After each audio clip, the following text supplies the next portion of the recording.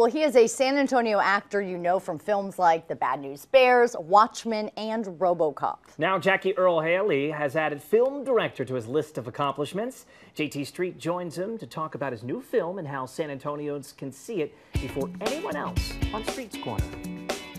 As much as I love acting, you know, I think I might like directing just a little more. Though he's just finished work on his first feature film, it seems odd to call Jackie Earle Haley a first time director. When I moved to San Antonio about 15 years ago, I started a uh, commercial production company where I've directed like numerous commercials, and it's a very collaborative process. Jackie's familiarity with that process got the attention of a Hollywood producer. And he just calls me out of the blue and says, Listen, I want to send you this script, and if you like it, I want you to direct it. I really loved it. It's the type of movie I, I wanted to make. That movie is Criminal Activities, a film about four friends who find themselves suddenly in debt to a mob boss, played by John Travolta, with a familiar looking sidekick. He wants them to kidnap a guy and hold him for 24 hours. And they're total amateurs, they have no idea what they're doing doing, and everything just spirals out of control from there. And it's a really fun ride. It's funny at times, it's also serious at times. It's a kind of a thrill-medy. Even though the trailer for that Thrillmedy hasn't been released yet, Jackie is showing the movie this weekend at the San Antonio Film Festival. He called me and I was so excited. I'm telling you, I jumped through the roof because I mean this is a this is a get for us. I wanted to share it with local San Antonians because this is where I live,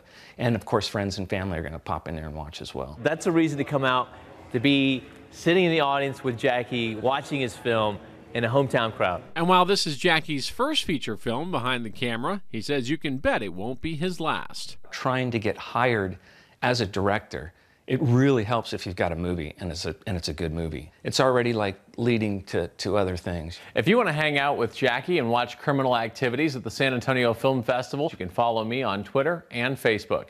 Hanging out with Jackie Earle Haley, JT Street, Fox News at 9.